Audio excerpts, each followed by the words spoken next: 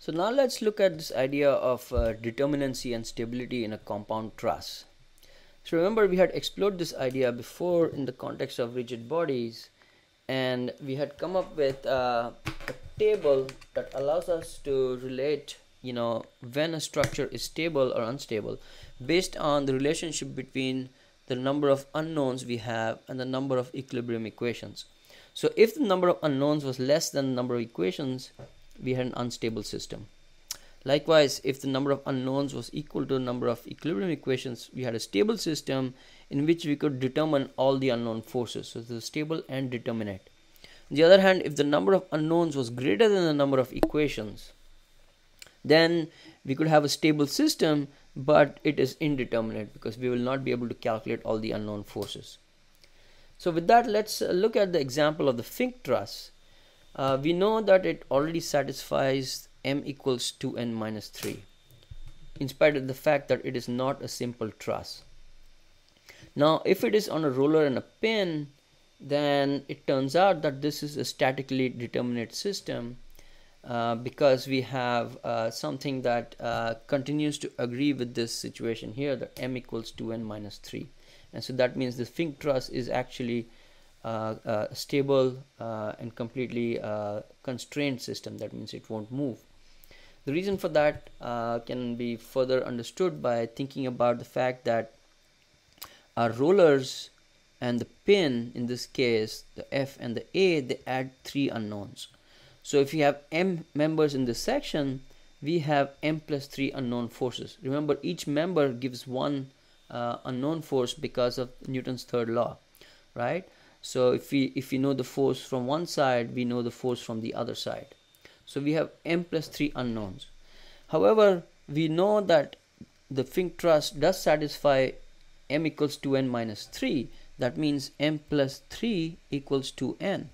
And so we have a situation here uh, for the case where we have a pin joint and a roller joint that this Fink truss is in equilibrium and is a stable structure so now let's look at uh, the next example here uh, and ask the question what can we say about determinacy and stability in the compound truss shown here which differs from the Fink truss in that we have only one joint here called CE that combines the two trusses and they have a common point here B at which they were uh, which the two simple trusses were joined. Well, let's look at the number of um, uh, let's look at the number of joints we have in this structure, right? So let's begin by counting n. So what is n? So I'm going to mark it in blue here. 1, 2, 3, 4, 5, 6, 7. And because of symmetry, I have 7 on this side, that's 14. And then I have 1, which is B, that's 15. Which tells me that my m, in order for stability, m needs to be 2n minus 3. So that is going to be 27. So now let's go ahead and see if we can calculate if there are 27 members here. 1 2 3 4 5 6 7 8 9 10 11 12 and 13 so I have 13 on this side and obviously I'm going to have 13 on this side as well. And then I have one extra here which is CE so M equals 27 and so that makes sense.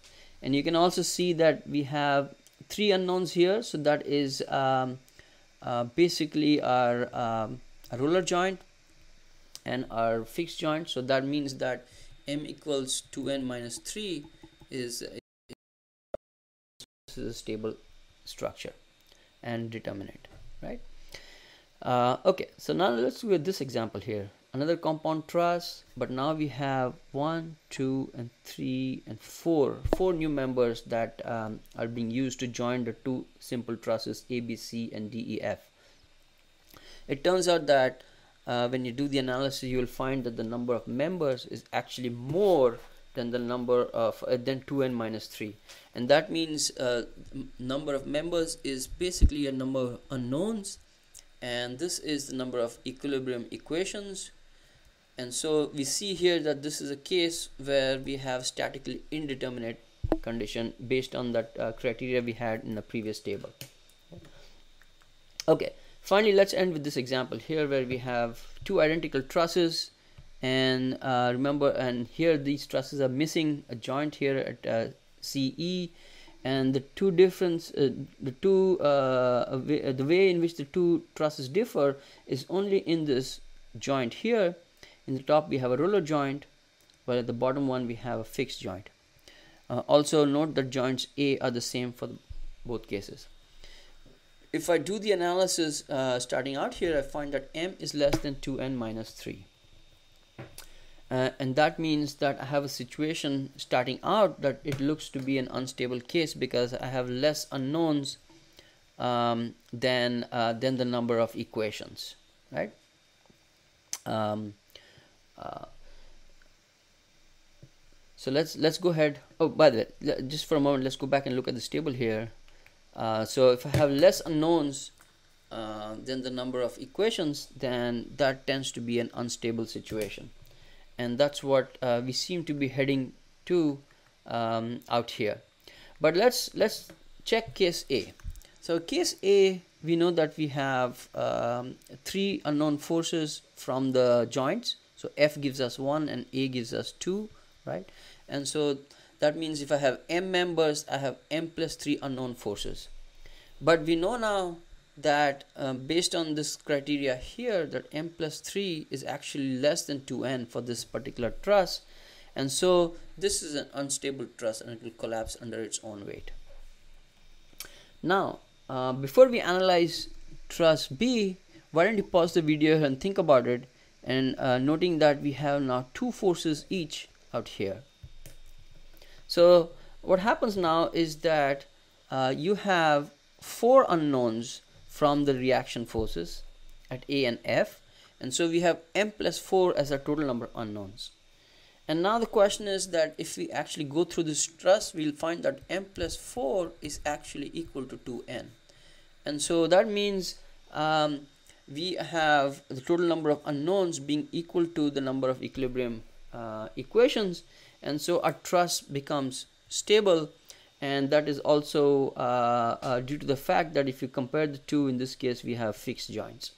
And so that's why it's it's important to look through uh, to what type of reaction forces we have in the context of m and n to actually make an assessment of whether we have stability and determinacy so to end um, we have discussed two key aspects here first is the method of sections that allows us to analyze the force in a, any given member in a complex truss system in a very efficient manner by taking a slice and then uh, calculating uh, forces uh, using a free body diagram of the freed up section.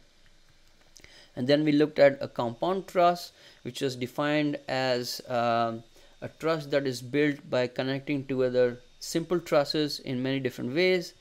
And within these compound trusses indeterminacy and instability depend on the values of m and 2n as well as the type of reaction joints. So with that uh, we come to the end of this uh, lesson. Thank you